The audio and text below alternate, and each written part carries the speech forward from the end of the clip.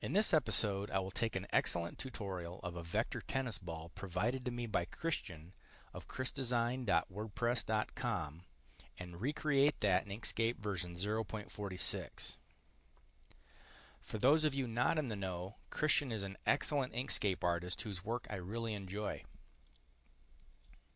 You can get to his website and tutorials by first navigating to the Screencasters website scrolling downward until you find the Other Links section, and then finding Chris Design Blog. Clicking that will take you to Chris's uh, website, and there you can find other Inkscape tutorials. So, uh, thank you, Christian, uh, for giving me a topic for a screencast. Okay, the first thing that we're going to do is uh, I'm going to change my document properties. And I'm going to make this 300 wide by 200 high. This will be kind of small, but um, we're working with vectors here, so uh, scale doesn't really matter. Okay, and I'm going to draw a circle, a perfect circle. I do that by holding the control key down and dragging. And then I'm going to change this circle to 120 pixels. I do that uh, by clicking my uh, aspect ratio lock, clicking my units, and then changing that to 120. Okay, I'm going to go ahead and uh, center that up on my page. And we'll just roll this up for now. Again, uh, I'm not using the key status uh, monitor. Um, it's still not working with uh, Ubuntu Intrepid. So uh, hopefully soon I'll get that back. So until then, I'll just describe uh, what I'm clicking at the keyboard. okay, I have a circle. So the next thing that I'm going to do is drag down a guide. Okay, so I'm going to go ahead and left click uh, from my ruler and just pull down a guide. And I'm going to double click on this guide and make this guide 100 high. Hit OK there, and that'll put it directly on my page, uh, directly in the center of my page, and directly in the center of my circle. um, the next thing that I'm going to do is uh, grab my circle tool and draw an ellipse. I'm going to give this a black stroke and I'm going to remove the fill and I'm going to make sure that I have uh, 4 uh, for the stroke width and I'm going to make this 145 wide by 85 high okay? And you want to make sure that uh, when you're um, changing the size of certain objects and you don't want your stroke to change that you need to uh, click on your option here and uh, uncheck scale stroke width okay? That way you can change this any size you want and the stroke will stay the same size okay? So I'll just undo that. Okay now what I'm to do is uh, I'll go ahead and uh, center that uh, vertically on my page so it's centered. And I'm going to want this about a third of the way up. So I think what I'm going to do is just draw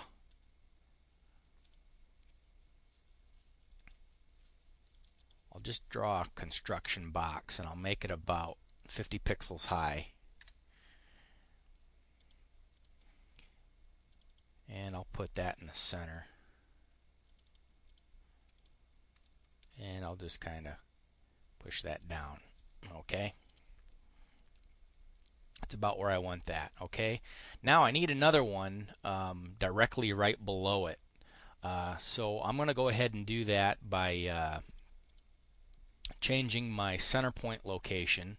Uh, I'm gonna hold my control key down left click and grab this center point and I'm gonna snap it down on my guide okay? Now uh, one handy tip about these uh, center points is sometimes you want to get them back to the original spot. Uh, you do that um, by holding the shift key down and then left clicking that uh, those crosshairs and it'll snap back to the origin uh, the original point okay? So you can just keep that in mind. Okay now that I've moved my center point I'm going to right click on this and duplicate so now that I have uh, an extra copy here and I'm going to click this twice and I'm going to grab my rotation handles I'm going to hold my control key down and I'm just going to drag this down 180 degrees okay? Now I've got two of them directly centered uh, on the ball here okay? So let me zoom out just a little bit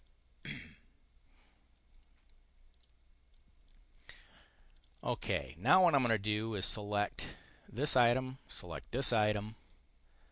Uh, I'm going to go to path and go stroke to path okay? I'm going to select this circle this first object here and I'm going to do a difference. I'll do that again for the second one. We'll go to path difference and I'll cut that away okay I no longer need this guide so I'm going to hold my control key down and left click it to delete it okay and then let's zoom back up on this thing. Alright, now if I double click this, you'll notice that I have, uh, this object is now a path and I have uh, a certain amount of nodes around here. What I want to do is add more nodes. So what I'm going to do is leaving that highlighted, I'm going to go to my effects pull down, modify path, and the add nodes option. Okay? I'm going to make sure that I have 3.0 in here. Uh, what that's going to do is add a node every 3 pixels on this whole entire object. So I'm going to go ahead and hit apply. I'm going to hit close. Now when I double click it, you'll see that I've got all these nodes here. Okay, that's exactly what I want. Okay, now having that many nodes, next thing I'm going to do is select this again go to the effects pull down, modify path, jitter nodes. Okay, for jitter nodes, what I'm going to do is make this 2.0. I'm going to make sure that the shift nodes option is unchecked and the shift node handles and use normal distribution are both checked. I hit apply there and what that's going to do is it's going to dirty up this image a little bit. It's going to make it rough everywhere. Okay, and that's the effect that I'm looking for. Okay, so let me zoom back out on that. Okay, now the next thing that I need to do is uh, we're going to give this a gradient. but before I do that, I'm going to bring in a palette that I've already made in advance. What I'll do is I'll link this palette with this particular episode so you can download the SVG for it. Okay, that way we don't have to type in numbers. Um, so I'm going to go ahead and bring in my palette. Okay, and I'm going to go ahead and pick my gradient tool. I'm going to do a radial gradient and I'm going to double click this.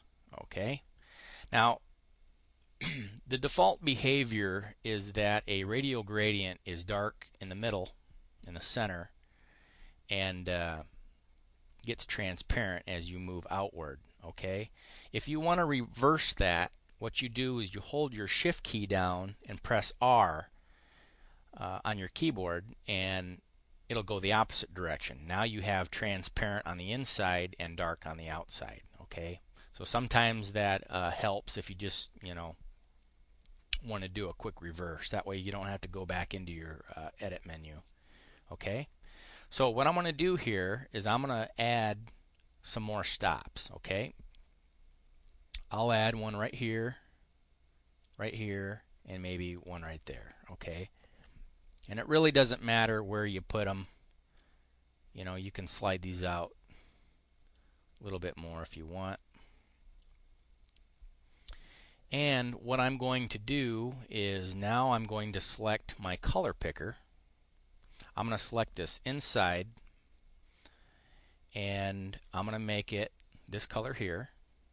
I'll select the color picker again, select this node here, touch my second color, select this node or stop, select my third color, select this node, my fourth color, and finally select the last node and pick my dark color. Okay, and that gives me a nice uh, gradient here.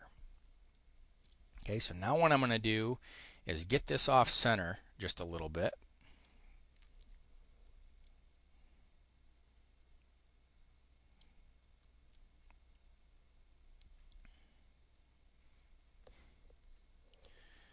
Okay, I think that looks pretty good.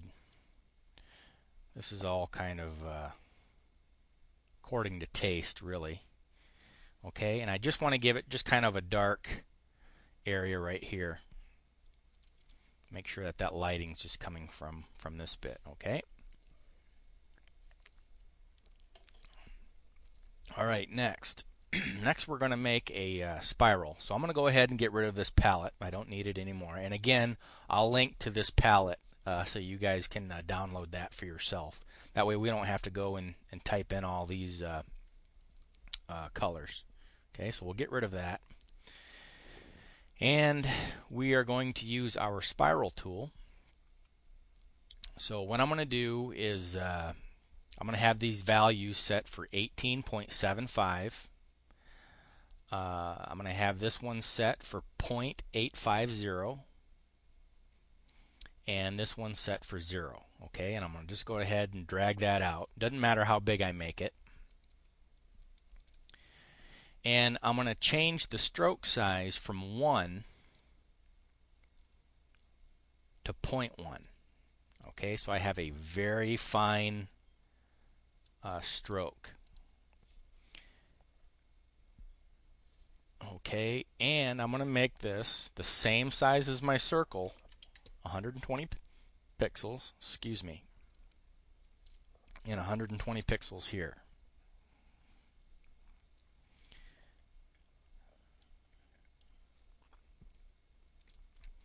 And what I'm going to do now is I'm going to take this and just slide that to the to the side for now and I'm going to come on this side and I'm going to draw a circle. And I'm going to make this one 120 pixels. Actually I'm going to make this let's make this a little smaller. Let's go 118 and a half. And I'll show you where I'm going with this okay? Let's give this a uh, kind of a medium gray. Let's go to our gradient tool we'll make sure that we have the uh, radial ellipse I'm sorry uh, radial gradient selected and we'll double click this. And again I'm going to use a shift R to reverse it. And I'm going to put a new stop right in the middle okay? I'm going to select the inside stop and we'll change that to white. The second stop we'll change this white. Okay, and by the way, again, I'm using the Ubuntu uh, color palette down here. Okay, it's almost uh, just like the uh, Tango color palette, but there's a few more uh, colors on there. Okay. I think that looks pretty good. And basically what I'm going to do is push this all the way to the back Actually, I'm just going to select this and center that up on my page.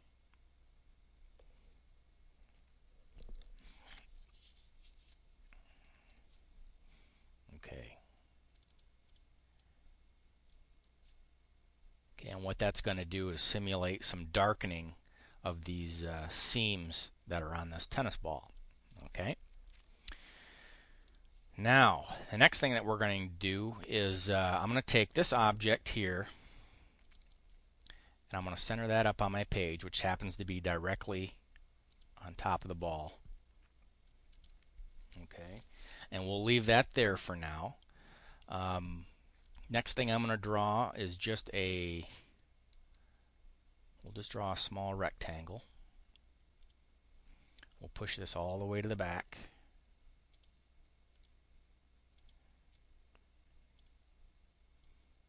So a little bit bigger. Really doesn't matter how big you make this rectangle, okay? So I'm going to take this and uh, let's give this some radius corners.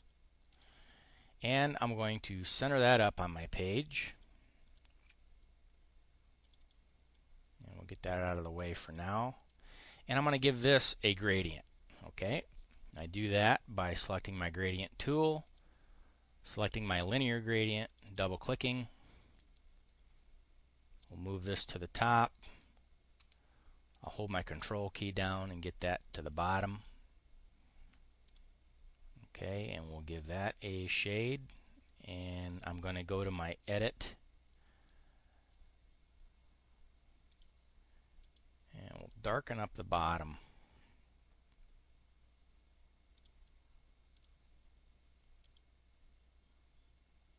About like that. And I'm going to go ahead and reverse this. So we have light on top, dark on the bottom. Okay.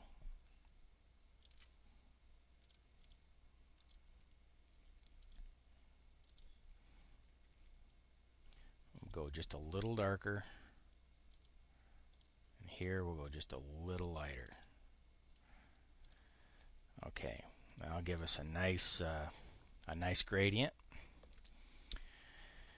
And the next thing that I'm going to do is I need to pick on this spiral and I'm going to convert that to a path. So I go to Path, Object to Path,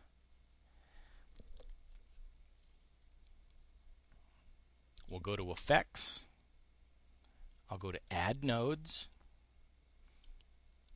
And I'm going to do a, uh, we'll leave this about a 3.0. Let's just try that and see what it looks like for now.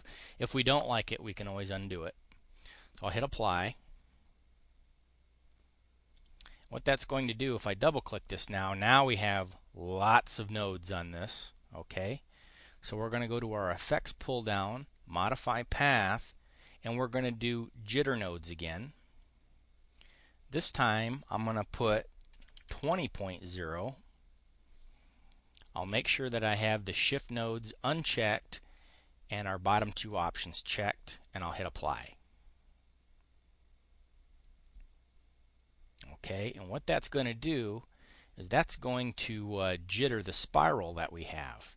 And what I'm attempting to do is make fibers here. Okay, so I'm going to select uh, the spiral or the jittered uh, spiral that we've just made, and I'm going to make that uh, stroke color yellow instead of black. Okay, so I'm going to pick this Ubuntu yellow and just drag and drop that right on top of this black stroke. Okay, and that'll take a minute. Um, adding a lot of uh, uh, nodes like that will slow down Inkscape a little bit. Uh, what you can do uh, to speed things up, if if things do get a little slow, is um, I think you can hold your uh, I think it's your Shift key and your number pad five. Uh, maybe it's the Control five. Yeah, it's the Control key number pad five and you'll go into outline mode. In outline mode, things will move very, very fast because you're not you don't have anything rendered. Okay?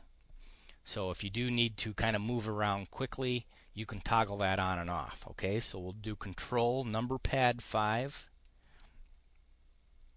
to get that to re-render. Okay, now what I'm going to do is uh, I'm going to draw a an ellipse sure the stroke is turned off. I'll make this all black and I'll give this about a 75% opacity.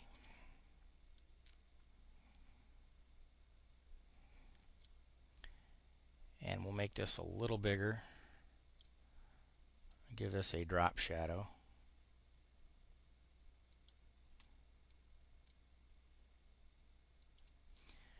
Okay, and I'm going to take that and center that on the page.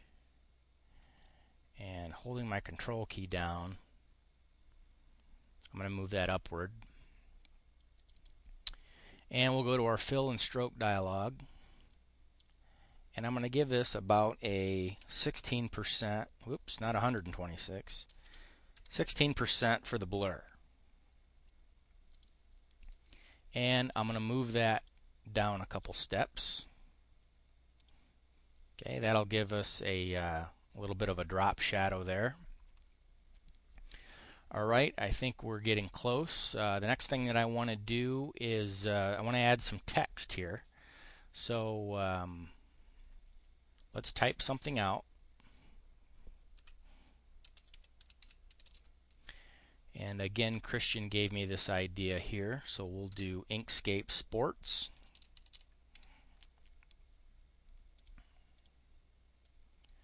And we'll move this up a little bit. And we'll go to our text tool. And I'm going to slide this all the way down. And we're going to use a font that Christian provided for me called Viper Nora. Okay, I'll provide this font uh, as a uh, as a download for this episode, so you guys can grab it. And I'm going to change the spacing to about 120, and I'm going to center this. Okay, we hit apply. Actually, I need to make this, let's make this 14 pixels high. Okay, I think that'll work. Now I'll go ahead and move this out so we can see it. And what I'm going to do is double click in here and I'm going to select just the bottom line and I'm going to change that to 10 pixels. Matter of fact, let's try 11. Make that a little bit bigger. Okay, and what I'm going to do is bring in the Inkscape logo. Okay, now you can find the Inkscape logo in your uh, install directory. I've prepared this one already. And what I'm going to do is select my text and change the color so it's just a little bit lighter. Okay, and I'm going to take both of these. We'll do last selected. I'll center that up. And I'm going to pull this up and try to center it. Okay. I think that looks pretty good and I'm going to take that and group that together. Now I'm going to take this, change this to page, center that on my page, which centers it on the ball. Okay, and I think what I'm going to do is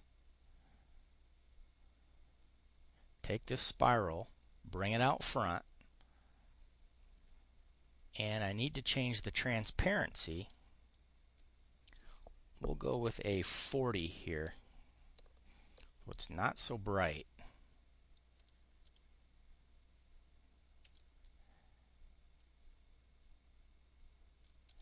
Okay, and I think we're getting close. So what I'm going to do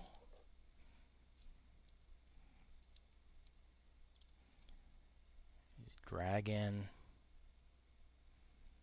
nice little link.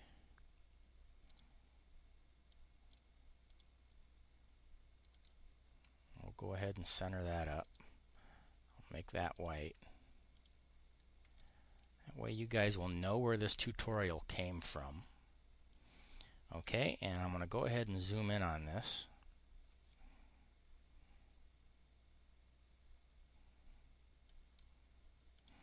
Let's try this one here. Okay, and that is our tennis ball. Okay, now what we tried to simulate on the tennis ball was we tried to make it a little bit rough around the edges. We did that by using jitter nodes.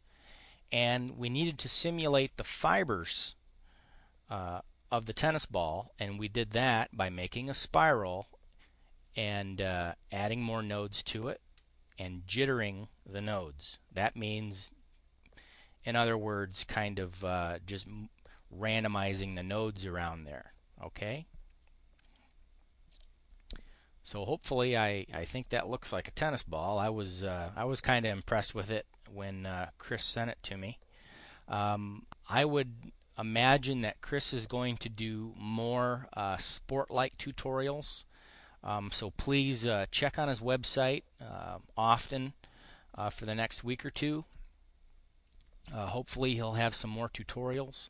Uh, this is our tennis ball, and again, I thank uh, Christian from uh, chrisdesign.wordpress.com for uh, giving me a great idea to make a screencast. I really appreciate it, and uh, I hope that uh, Richard and I can work with Christian sometime in the future. So, thank you very much for watching. I'm heathenX.